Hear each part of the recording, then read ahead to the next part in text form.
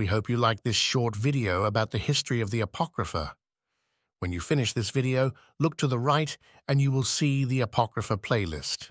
Just click on the first video under the Apocrypha History video to play the first video, or choose a video of your choice that you want to hear.